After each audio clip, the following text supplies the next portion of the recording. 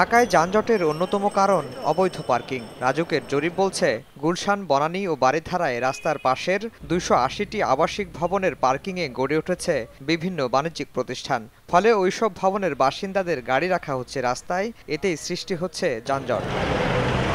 চার বছর আগের এই জরিপ পুরো ঢাকা শহরের একটি চিত্র তুলে ধরছে বলে মনে করেন উচ্চ আদালত। এর প্রেক্ষিতেই বুধবার দেয়া হলো পার্কিংয়ের জায়গা দখল করে গড়ে তোলা সব ধরনের প্রতিষ্ঠান উচ্ছেদের নির্দেশ।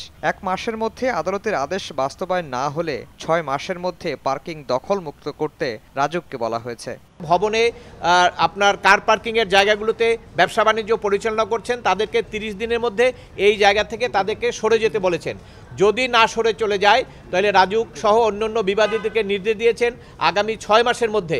পুরো ঢাকা শহরের এই রাস্তার পাশে ভবনের যে জায়গায় কার পার্কিংয়ের জায়গা ছিল সেখানে ব্যবসা বাণিজ্য যারা করছে সেগুলা উচ্ছেদ করার জন্য নির্দেশ দিয়েছেন এবং ওই উচ্ছেদ করতে গেলে যে খরচ হবে সে খরচগুলো তাদের কাছ থেকে আদায় করার জন্য বলা হয়েছে। এ রায়কে স্বাগত জানিয়েছে রাজুক। ঢাকা শহরে রাজুকের এরিয়ায় যে কোনো বিল্ডিং করতে হলে রাজুক থেকে প্ল্যান নিতে হবে এবং প্ল্যানে যে শর্ত দেওয়া হয়, সেই শর্ত অনুযায়ী সেটাকে ইউজ করতে হবে।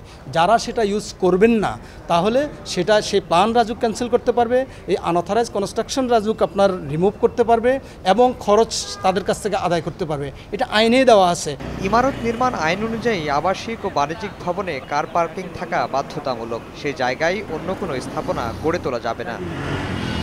আফজাল হোসেন সময় সংবাদ ঢাকা।